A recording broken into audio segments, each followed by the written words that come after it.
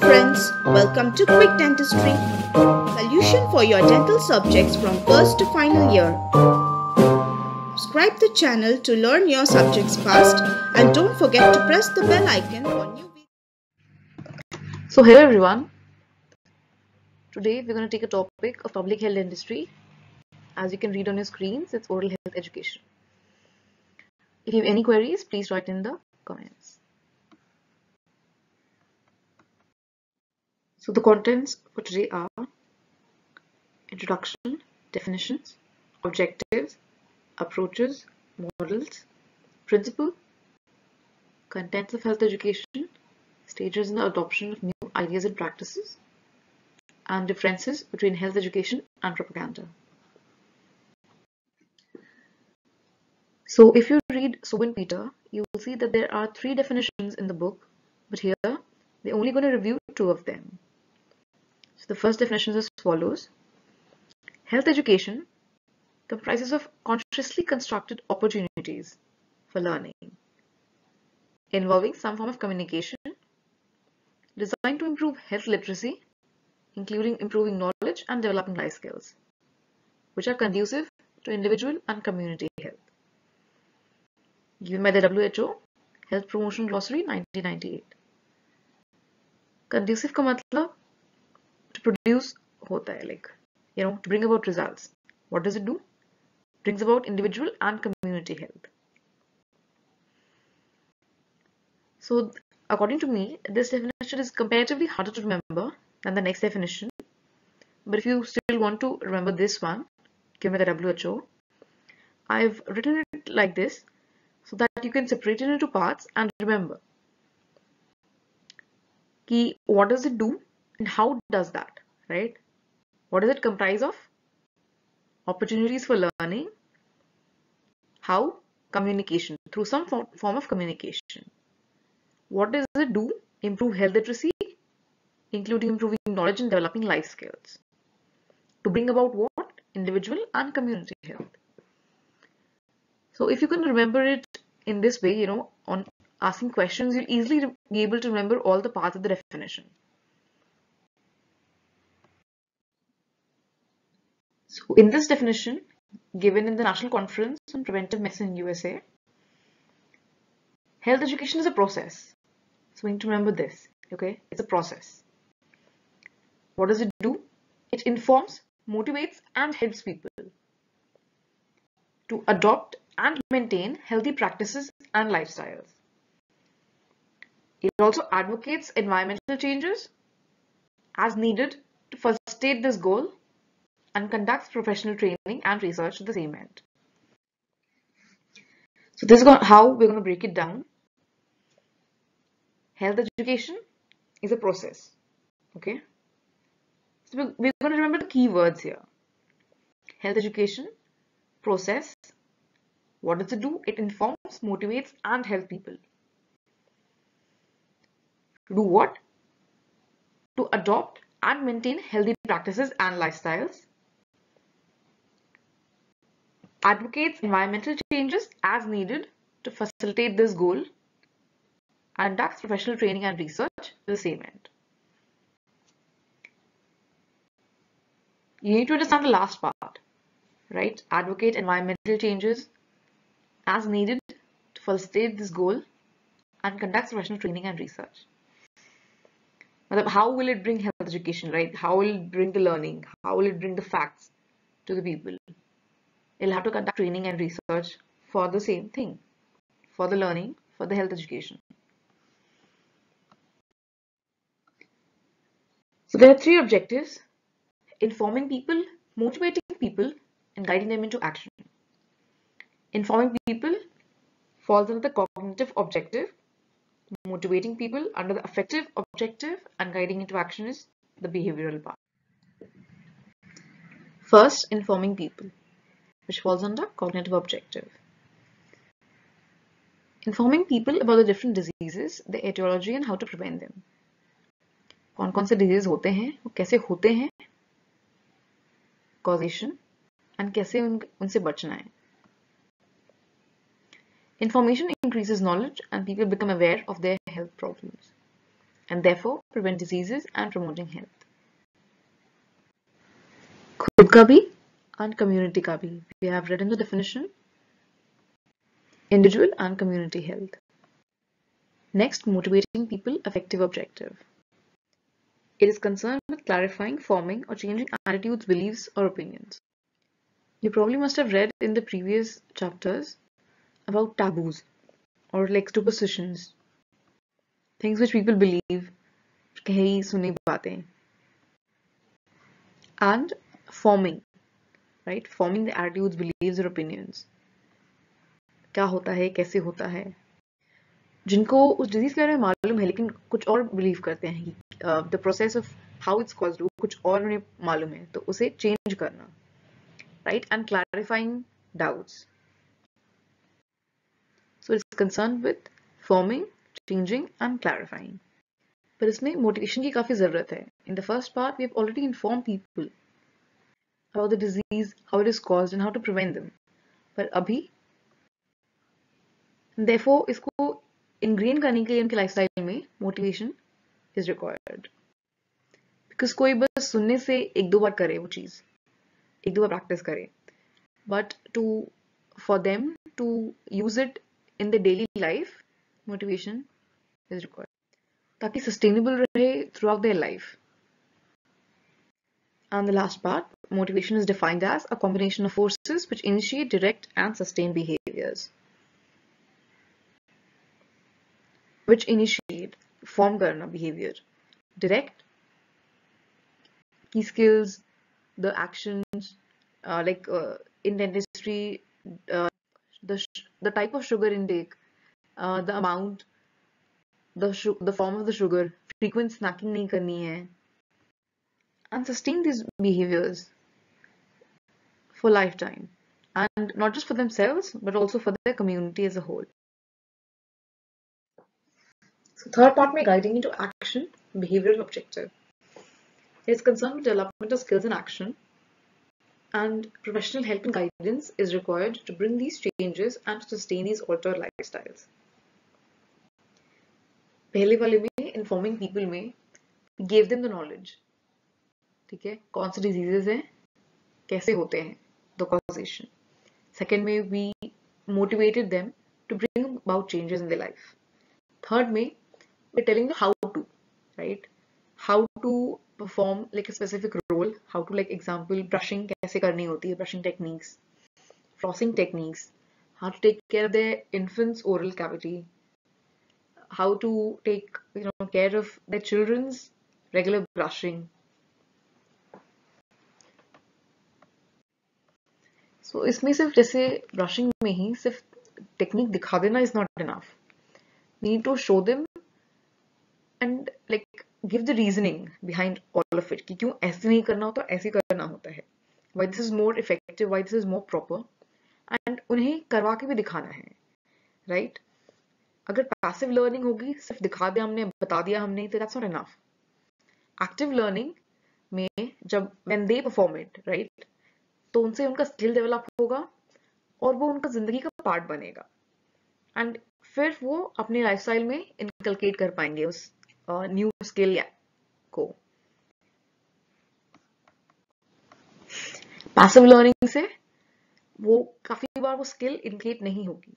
So that will make the whole programme ineffective and last line जैसे लिखा है Final goal of any health education program is to make realistic improvements in base quality of life. अगर programme से किसी के life में कोई changes नहीं आता है in the life of the community the people there then it's basically ineffective. So passive learning is usually a no, active learning. That is what we want to achieve. So approaches, therefore, regulatory or legal, administrative service, educational and primary healthcare. Third part, legal or regulatory. The government makes laws and regulations in order to safeguard the health of its people. Example, Epidemic Disease Act, Pollution Act, Environmental Act, Food Adulteration Act. We've already seen COVID lockdowns, right? And now vaccination drives. So these are implemented by the government to safeguard our health. Same with Pollution Act in Delhi to improve the air quality. We have the odd even scheme, registration number of the car and फिर अगर odd days है so you can drive it except for Sundays, right? So basically the drawbacks applicable only at certain times or in limited situations, definitely. Epidemic disease तभी होगा जब epidemic हो रही है, right? Pollution Act now pollution increased है. May not alter the behavior of the individual. Administrative service approach intends to provide all the health facilities to the people with the hope that they will use it. Drawbacks failure of service not based on felt needs of the people. And you can see the example. एक जगह जहाँ dental programme open करवा रहे हैं but वहाँ पे अगर ज़रूरत किसी और चीज़ की है कोई और हेल्थ इशू की है तब we won't be that effective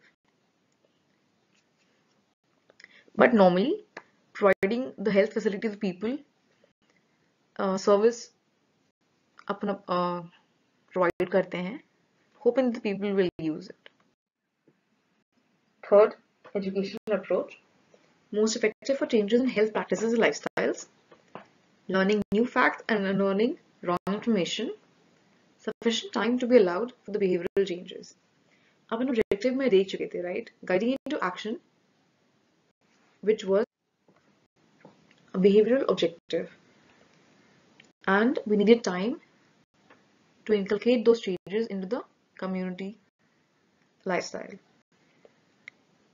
So similarly, educational approach, right? We provide them with the information, show them how and motivate them. So here as well, the components are motivation, communication and decision making. Communication upon uh, next part में पढ़ेंगे इस chapter के वहाँ पे uh, we'll see the different forms of communication, different modes. And always remember कोई भी behavioral change के लिए it always needs time. And uh, second part, learning new facts and unlearning wrong information. We also saw this in the forming, clarifying or changing attitudes, values, opinions, right? We need to unlearn wrong information and relearn the correct facts. The drawbacks are is results may be slow, but permanent and enduring. That is already discussed, right? Sufficient time is needed for the behavioral changes.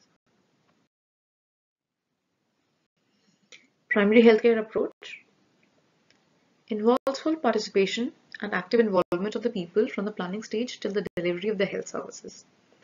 Is based on principles of PHC, that is community participation. Other principles of the PHC are equitable distribution, intersectoral coordination, and appropriate technology. You can uh, read more about it in public health, the first chapter in Soben Peter. Now this is achieved providing the necessary guidance to help people identify their health problems and to find solutions to these problems. So definitely community participation is a must. Also primary health care is also the first level of contact of individuals with the national health system. Coming to models of health education, there are three, medical, motivational and social intervention. Medical may it provides information motivational how to use this that information and social intervention community efforts where the community comes together and then intervenes with the whole uh, process जो भी unhealthy process है उसे intervene करके changes लाना again community participation इसमें भी लगता है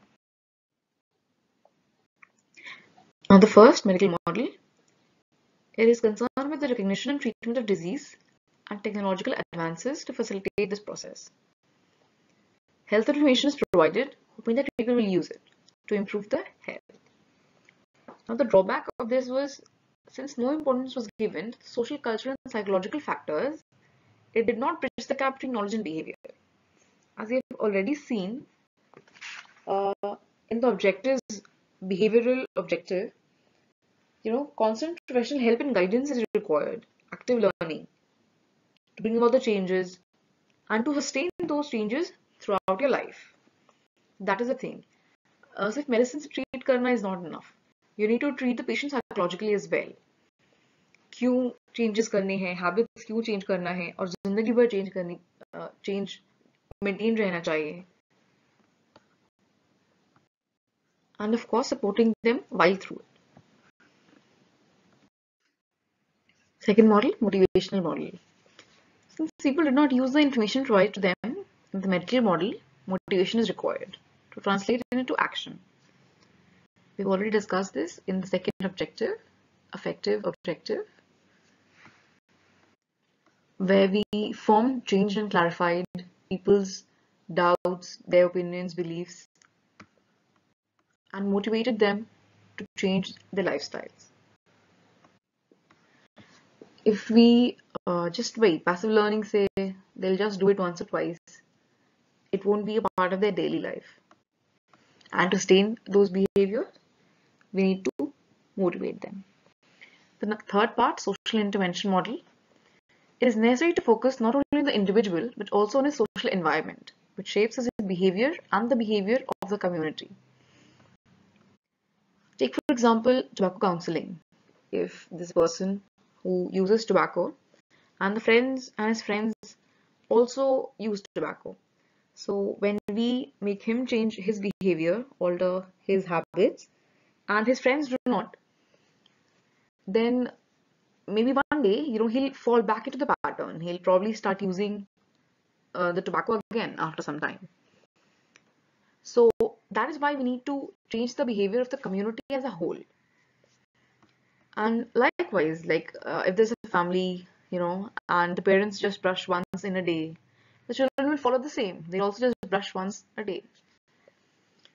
And and just you know like in contrast, like uh, when there's a person who is very uh, appreciative of his uh, health and his he takes care of it, he exercises and everything the people around him also are affected by it. They also start looking towards their health, start uh, start changes in their diets, in their lifestyle,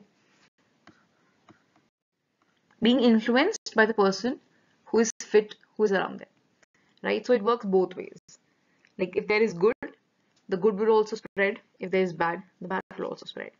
That is why as a community, we should try to improve their lifestyle. An effective health education model should be based on precise knowledge of human ecology and the understanding of the interaction between the cultural, biological, physical, and social environment factors. Now, human ecology is an interdisciplinary study of the relationship between humans and their natural social environments. So it's the same, right? Social intervention. So we're taking in account the person, the people around him, his own his own physical conditions, the culture he's in, and together accounting for all these factors, the health education model should be based. We'll start with the principles and the rest of the chapter in the next session. And if you have any queries, please write in the comments. Thank you.